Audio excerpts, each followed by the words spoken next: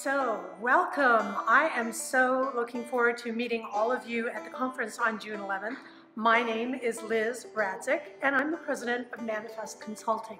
And I know as meeting planners, you have to wear a lot of hats, and sometimes you find yourself having to speak in front of large groups of people, or maybe deal with people who are more senior than you, or maybe you're in sticky situations on site where you need to feel more confident. We're going to cover all of that in the workshop in one hour on June 11th. So I am looking forward to seeing you in Vancouver. Bring your best game, and we're going to have a great time at the session. See you in Vancouver.